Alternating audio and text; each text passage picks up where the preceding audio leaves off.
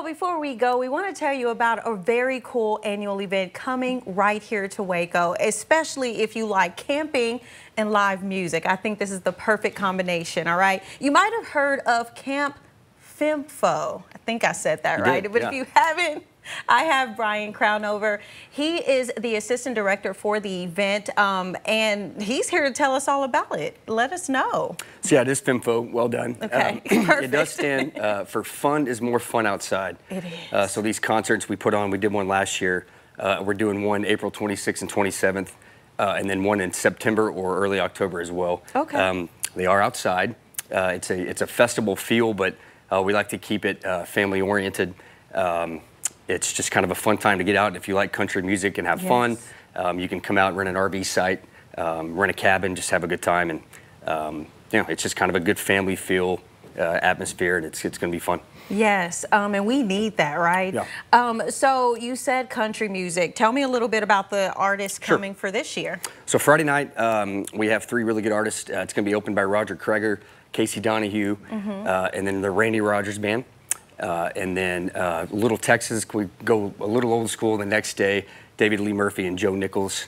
Um, it's been uh, very well received, and it's just uh, again, um, outdoor festivals in the spring are always fun. Uh, and it's going to be uh, it's going to be an enjoyable time. And I think we have some video, if I'm not mistaken, of um, past events Yeah. in the area. Like you said, I see a lot of people there, very family friendly, which is always good for, you know, um, adults to get their kids together and come out. And it's pretty much, is it an all day type of event?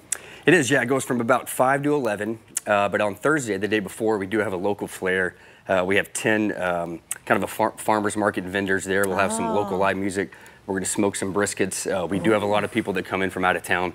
Um, so we like to get that Texas feel before the actual show starts Friday and Saturday. Uh, people will enjoy the swim up bar in our pool. And then, of course, we have uh, all of our um, uh, you know, putt putt and all that good stuff for the kids, jumping pillow and all our courts and stuff so they can play before the show. Uh, and then kind of gather in the actual concert and there's seating where you can pull your chairs up and kids can play in the back or you can just buy GA tickets and come enjoy it and have a good time. All right, so tell me a little bit about ticket information. How much is a ticket to get into? I mean, this sounds amazing. Yeah, so you can get uh, day day to, uh, day to day tickets so like Friday or Saturday, or you can combine them. Uh, VIP tickets for both I think start at sixty nine dollars.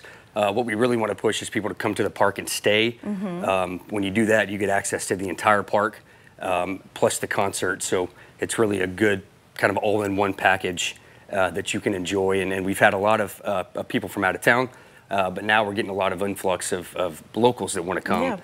enjoy the day, hang out, and then see a really fun show that night. All right. Well, hopefully you're inspired to get out, buy those tickets. Again, we'll have all this information over on our website. Brian, thank you so much for Yeah. joining us Yes, to tell us about this.